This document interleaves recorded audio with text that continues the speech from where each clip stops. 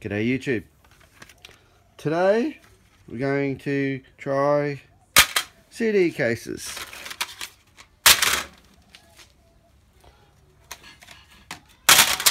I've come into a benefactor that has has had a few CD cases giving away for free. Anyway, they're a dime they're a dime a dozen these days. Anyway, so what we're going to do is we're going to do the clear ones. These are these are poly these are polystyrene these are polystyrene. We're going to give that a go and see what it's like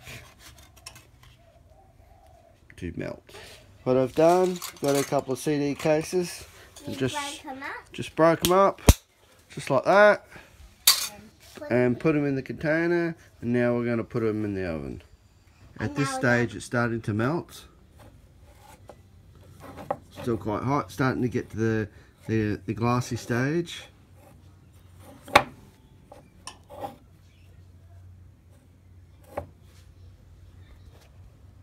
We keep putting more of the clear plastic pieces in until we get full. It's almost full now, but I'm gonna put a couple more pieces in and then we'll then we'll leave it for a while. Just taking out for the last time. As you can see, there's still air bubbles trapped in there.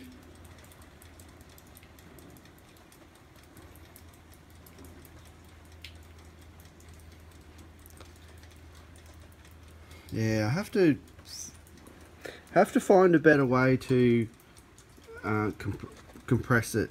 I think that if I'd I have a a, a metal uh,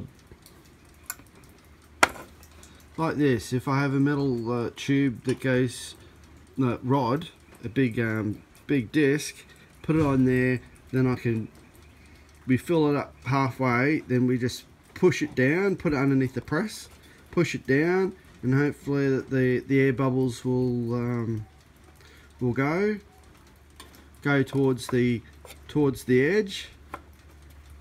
And that's the only thing I can try. But at the moment that that's worked quite well.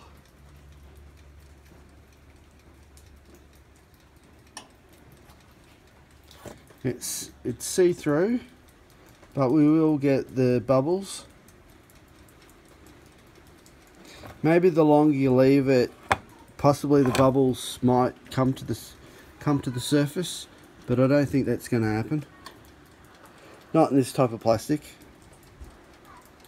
It's like the bubbles just get stuck it stuck in suspension.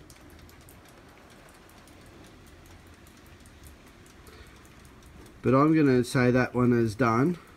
But next time I do it, I'll see if I can um, make a make a press or something like that, so I can make a rod.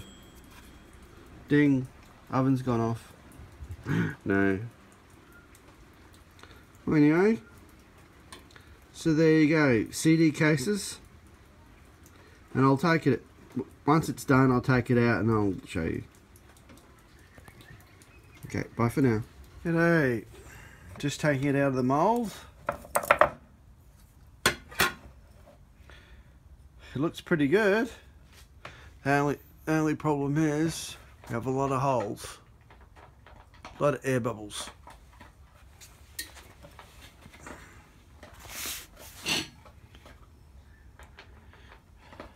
Depending on which look you're after, it could be either good or bad.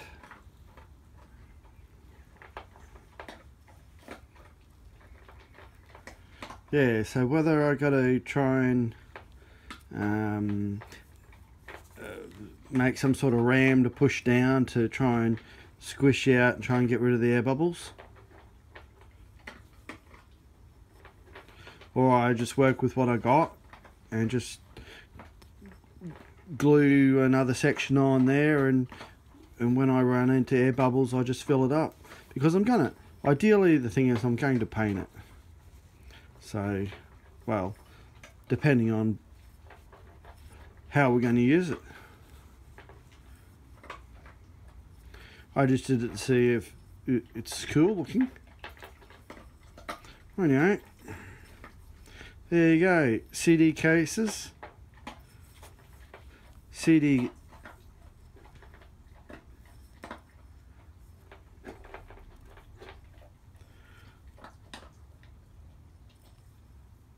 Very cool, I reckon.